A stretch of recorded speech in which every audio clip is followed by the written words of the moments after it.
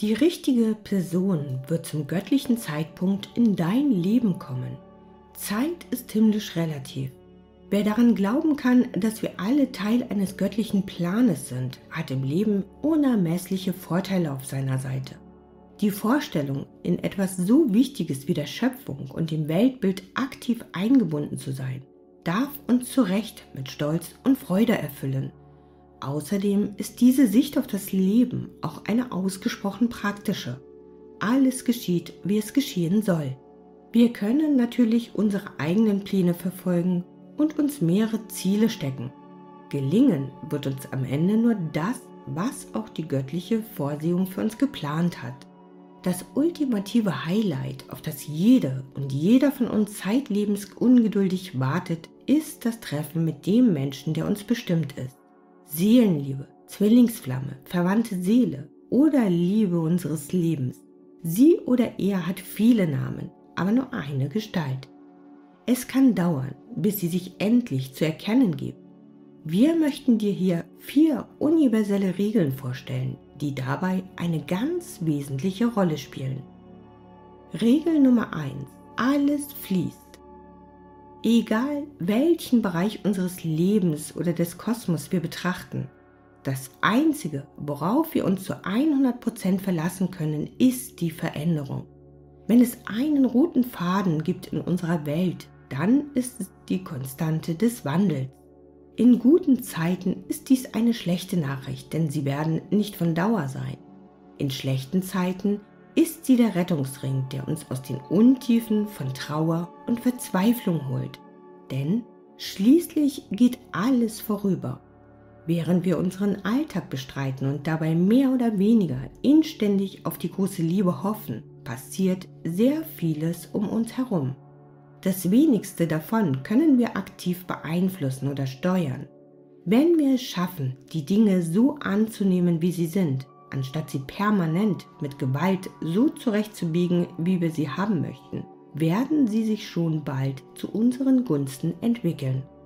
Das Loslassen von bestimmten Vorstellungen und das Abgeben der Kontrolle an die höheren Mächte ist der erste wichtige Schritt hin zu unserem Seelenmenschen. Regel Nummer 2. Timing ist alles. Zur richtigen Zeit am richtigen Ort zu sein, hat schon viele Paare zusammengebracht.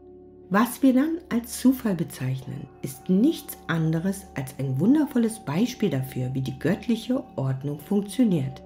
Dass wir auf der richtigen Zeitschiene unterwegs sind, erkennen wir an der Leichtigkeit, mit der uns alles gelingt. Wenn wir einen echten sogenannten Lauf in allen Bereichen haben, sind wir bestens getimt und im Zeitplan, allerdings nicht in unserem. Es ist manchmal essentiell, sich Gespräche oder Vorhaben aus dem Kopf zu schlagen, wenn unser Gefühl uns deutlich signalisiert, dass es nicht der richtige Zeitpunkt dafür ist. Meist kämpfen dann zwei Seelen in unserer Brust.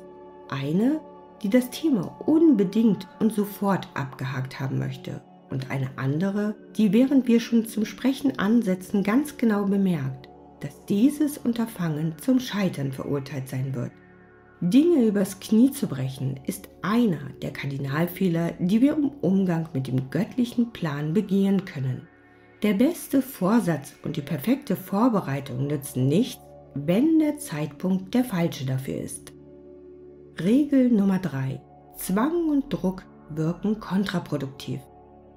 Wenn wir aus der göttlichen Regel Nummer 1 alles fließt, etwas herauslesen sollten, dann, dass wir den Fluss der Dinge nicht umleiten oder aufhalten können.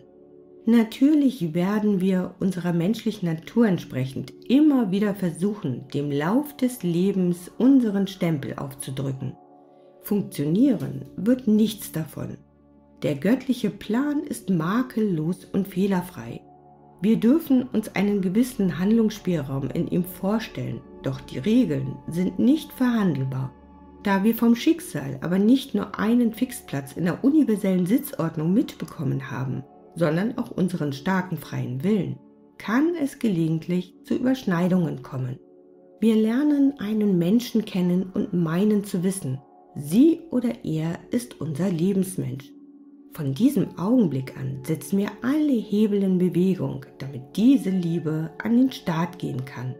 Wir bedienen uns aller Möglichkeiten, die das moderne Leben bietet, um in Kontakt zu treten und mehr oder weniger zufällige Begegnungen zu initiieren. Vielleicht schaffen wir es sogar, eine Beziehung mit diesen Objekten unserer Begierde einzugehen, doch der Preis dafür wird hoch sein. Wir werden eine Hürde nach der nächsten nehmen müssen. Missverständnisse und Streit stehen an der Tagesordnung. Ständig werden sich komplizierte Situationen ergeben, die überhaupt nichts mit jener vibrierenden Leichtigkeit zu tun haben, die wir uns von einer frisch erblühten Liebe erwarten dürfen. Das passiert, wenn wir dem göttlichen Plan mit Gewalt dazwischenfunken wollen. Viele solcher erzwungener Beziehungen kosten uns jede Menge Kraft, Energie und vor allem wertvolle Lebenszeit, die wir nicht im Überfluss zur Verfügung haben. Regel Nummer 4. Ungeduld weist auf ungelöste Fragen hin.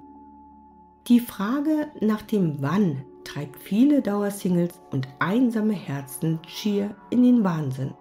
Wie bereit müssen wir denn sein, um endlich unseren Lebensmenschen in die Arme schließen zu dürfen?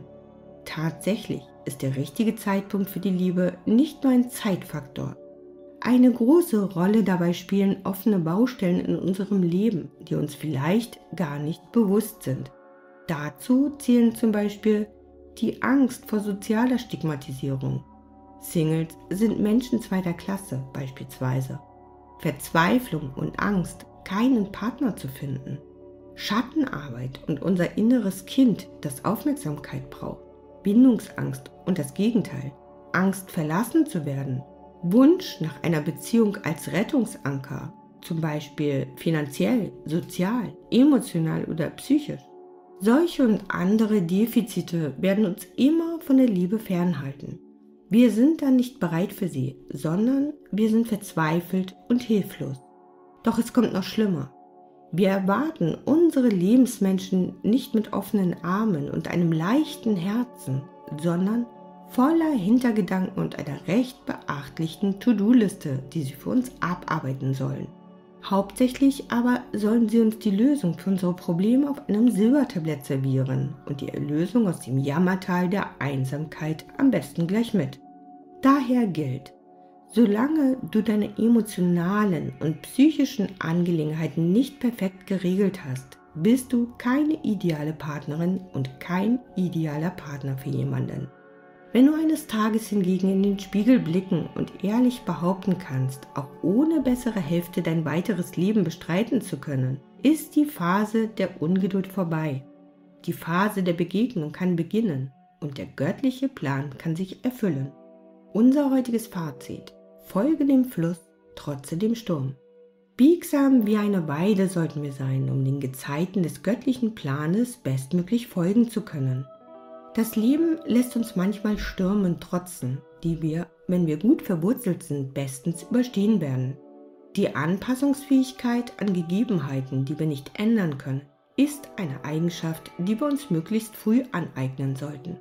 Es ist keine Schande, mit dem Strom zu schwimmen, sondern zeugt höchstens davon, dass man sich vertrauensvoll in die Hände des Schicksals legt, indem man sich treiben lässt. Widerstand ist zwecklos die Natur macht keine Fehler, Gott und das Universum auch nicht. Das Warten auf die richtige Person hat dann ein Ende, wenn wir in den Augen der höheren Mächte bereit dafür sind. Ihre Gedanken sind bekanntlich nicht unsere Gedanken und ihre Wege nicht die unseren. Wenn dir unser heutiger Podcast gefallen hat, dann gib uns gern einen Daumen nach oben